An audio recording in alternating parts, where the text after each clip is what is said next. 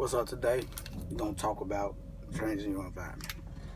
A lot of us grew up around guns, drugs, gangs, and we end up toting guns, joining gangs, selling drugs. Our mamas told us the same shit we tell our kids. Go to school, get education, blah blah blah blah blah. I ain't to that shit. Because the environment overpowered that shit.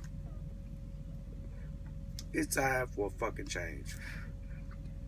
Basically, um, change is better. If you change your situation, you will never know the fruits that will come from that shit. I'm gonna go straight into some examples. My brother was my brother-in-law. He's still my brother. Fuck that. My brother Tyrone. That nigga is stone to the bone from Motown. In Chicago, kind of struggled. That nigga moved out of town and in less than a year, he copped him a red and black car, stone ass nigga. Keep red and black Jordans, red and black Bulls hat. Doing this thing, married his beautiful ass wife, Tay Tay. Hey, Tay Tay. You know what I'm saying? Like, and they got their family and they enjoying fucking life. Moving on. My cousin, Marty. Savage in the street. That nigga was BD till the world blew up. The world ain't blew up, so he still BD. Streets, savage. Moved to Iowa. Man, I done seen them at football parties, cooking Sunday dinners for his family. Every Sunday they sit down and eat together and talk about life and all types of shit. He about to get married. Congratulations, bro. And I'm proud of that nigga. All out. Got a good job. Last time he came up and we, man, we bought so much liquor. Money wasn't no object. And last but not least, man, he came up in a Hummer. And I showed drove that motherfucker too. Like, let me see the Hummer. Let me see it. Squirt. My cousin Squirt. He like a cousin of me. From the same block. Squirt. That nigga told me a story once to change my whole perception of shit. He was like, bro, me and T.Y. was sitting in the jail cell. They was rappies. T.Y. from our same block. Rest in peace, big bro. I miss you, bro. Love you. He say, man, him and T.Y. was talking. And they was like, niggas talk about niggas like Tune them They just put down a pack and just walk the fuck away from the block and go get a job. He was like, but them niggas be out partying, kicking it, having fun, and living their life. And we end up in here for so many years of ours. Who really the goofy? I was like, wow, that shit was mind blowing. I ain't never forget that shit, bro. Much love to you, bro. I love you, bro. And he he moved out of town too. He got married, family man shit, grown man shit. You already know. He got a beautiful ass wife. T. Salute to y'all. You know what I'm saying? And last but not least, I'm gonna talk about myself. What made me move is I got a phone call from my daughter.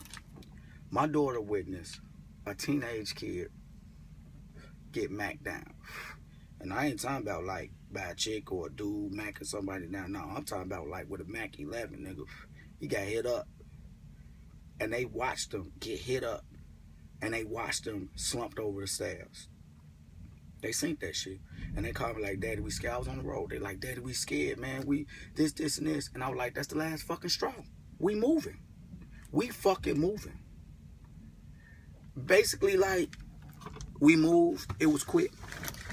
And I moved to me and my ex-wife split up. She was fair. I gotta give a shout out to her for being fair, man, through the whole divorce, man. Much love. But I had to refurnish my house, so I had to find somewhere that was affordable. Because I had to refurnish my house, take care of my kids, help with her shit, help with my man, it was crazy. So I had to find somewhere fair.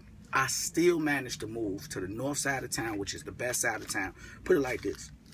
If you took my neighborhood, the schools around it, and the place I stay, and moved it to Chicago, it would be up north. That's number one. And it probably would go for in between $1,700 and $2,100 a month. Easy. I pay 521 a month. And that's every cent. 521 a month. And my house came equipped with nice space and a nice ass balcony. And on that nice ass balcony, I could sit there and smoke my cigarettes and eat my freeze pops. And look at this nice ass swimming pool, big as hell. My kids playing it all fucking summer long.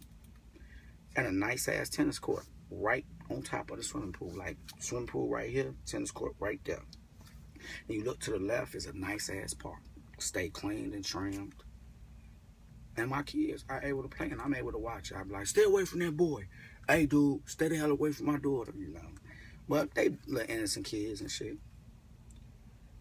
My kids stay in a diverse neighborhood with their mama, and they stay in a diverse neighborhood when they come to me. Diverse meaning black, white, Spanish, Asian, all my neighbors.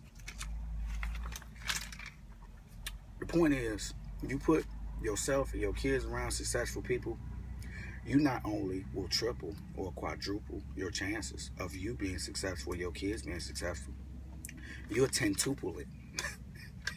That ain't even a word. I know, I know that ain't no word. I'm saying, you gotta ask yourself a question. Do you want your kids to be vice lords or landlords? And last but not least, the slogan.